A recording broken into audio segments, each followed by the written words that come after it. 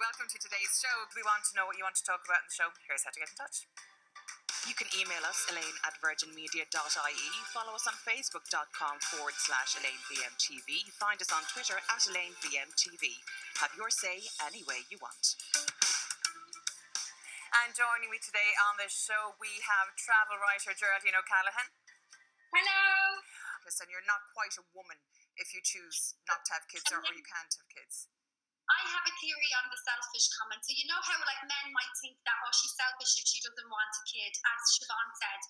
I feel like if you know 100% in your head that your career is the one thing that's more important to you, and if you have a child, it's kind of gonna be always second to your career or second to your travels, or the child might be a bit of an inconvenience or be put on the back burner.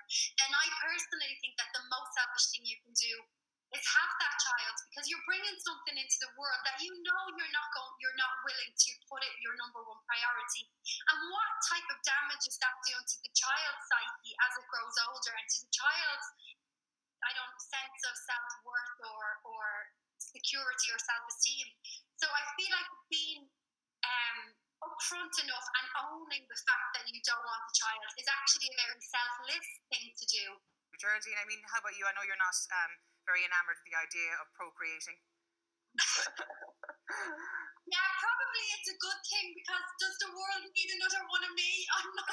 oh, yeah. We can't have too many Geraldines in the world.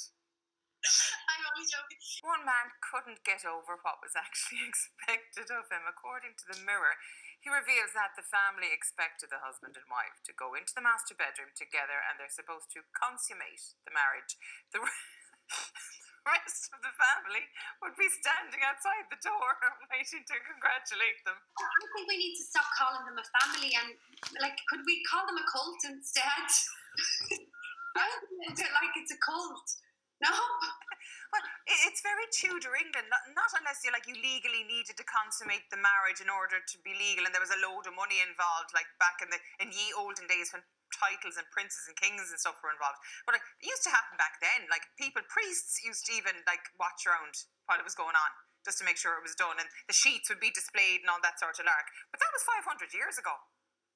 And, and clearly, we haven't evolved this family are still at it. Oh, talk about stage fright. Imagine. I'm weak even thinking of it. The actual bed linen is um, cut out and puts on a tapestry on the wall to join all the other bits in the master bedroom that has, has been sewn in over the years. But like if they get divorced, do they cut it out again? No. I feel like the only thing that that chap needs to be cutting is his losses. Yeah. run, run. Wouldn't you run a mile? You'd run a mile. But like a lot of people, we won't talk specific in laws here, but like a lot of us over the years have dated people that perhaps their families we're a bit stranger than our own. Like I'm very aware that my family's bonkers, and I'm, I'm like we have our, our, our, faults. But some people think their families are perfect, and they're blatantly not. There's no such thing as a perfect family. It does. I, I'm pretty sure that the word family is derived from an old Greek word for dysfunctional. Like there's no such thing. Anybody who thinks that their their family is perfect is deluded. I, I, I rest my case. Yeah. But we're all great here today now, girls. Wait till you hear this one. Never mind everyone else because the leprechauns are doing just fine. He believes he's Ireland's last known leprechaun whisperer. I talk to leprechauns. That the leprechauns are, um, there's only 200 out of them left in the country, and his wife doesn't believe in leprechauns either. So it's all a bit of a bit of a funny one there, Ger.